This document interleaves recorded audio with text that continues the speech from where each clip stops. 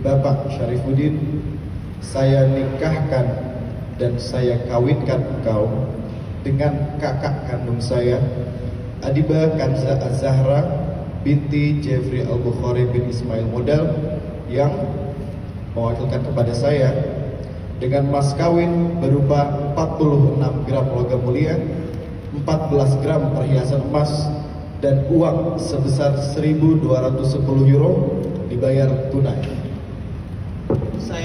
Nikah dan kawinnya Adiba Kanza Azhara binti almarhum Bapak Haji Jeffrey Al-Bukhari dengan mas kawin tersebut dibayar tunai.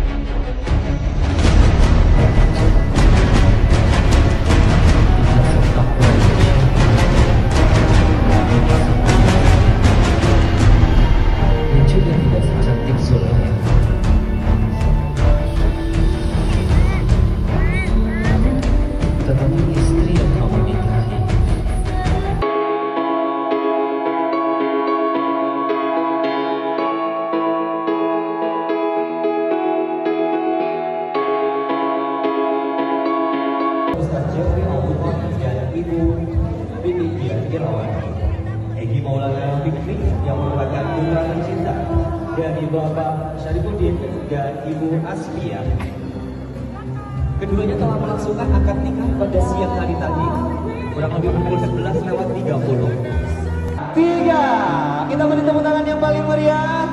Wow, semuanya itu pada susah tepuk tangan karena semuanya pegang handphone. Jadi susah untuk tepuk tangan. Tapi tentunya ini adalah hari bahagia untuk mereka berdua. Sambil saya mau ngobrol.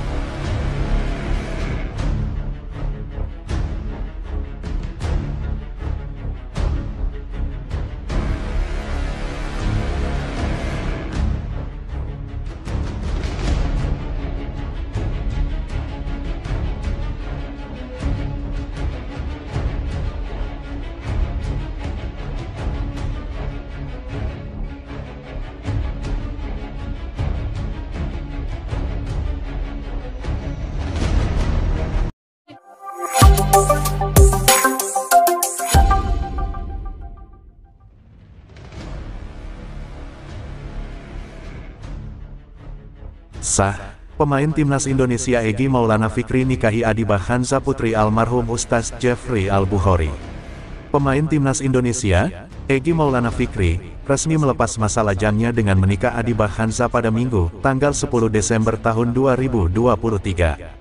Resepsi pernikahan Egy Maulana Fikri dengan putri dari almarhum Ustaz Jeffrey Al-Bukhari itu akan digelar di Halfpat Yunus, Kebayoran Baru, Jakarta Selatan, pada pukul 16.00 sampai 17.45 WIB. Egy Maulana Fikri semula masih menutupi acara pernikahannya itu. Namun, dari pihak wanita membocorkan bahwa Egy Maulana Fikri akan mempersunting Adi Bahansa. Kepastian itu disampaikan oleh rekan dekat keluarga Adi Bahansa, Fitri Arifin. Dikutip dari Arta Kota, Fitri Arifin yang merupakan istri dari pemain sinetron Alfi Alfandi memang dikenal dekat dengan keluarga almarhum Ustaz Jeffrey Al-Bukhari. Doain aja pernikahannya lancar, kata Fitri Arifin. Kami jadi salah satu pengisinya. Keluarga Abizar sudah kayak keluarga saya sendiri, sambungnya. Hubungan Egy Maulana Fikri dengan Adibah Hanza diketahui sudah berlangsung sejak lama. Dari media sosial keduanya, pemain Dewa United itu sudah dekat dengan dan Adibah Hanza sejak 2017. Beberapa kali, Egy Maulana Fikri dan Adibah Hanza terciduk menghabiskan momen bersama. Keduanya juga sempat menjalani hubungan jarak jauh alias LDR. Hal ini dikarenakan Egi Maulana Fikri sempat berkarir di Eropa pada tahun 2018 sampai tahun 2023. Egi Maulana Fikri baru kembali lagi ke Indonesia dengan bergabung bersama Dewa United pada pertengahan musim Liga 1 2022 per 2023. Doa dan dukungan kepada Egi Maulana Fikri yang baru saja resmi menikah diutarakan oleh asisten pelatih Timnas Indonesia, Nova Arianto. Nova Arianto berharap pernikahan Egi Maulana Fikri dan Adibah Hansa bisa langgeng. Selamat untuk Egi Maulana Fikri. Semoga selalu langgeng dan cepat diberikan momongan. Semoga Egi Maulana Fikri terus diberikan kelancaran dalam karirnya, kata Nova Arianto. Hal yang sama juga diutarakan oleh pemain timnas Indonesia, Sadil Ramdhani. Sadil Ramdhani mengirimkan doa agar pernikahan Egi Maulana Fikri dan Adibah Hansa bisa lancar. Egi Maulana Fikri, saya doakan semoga lancar rezeki kamu setelah menikah.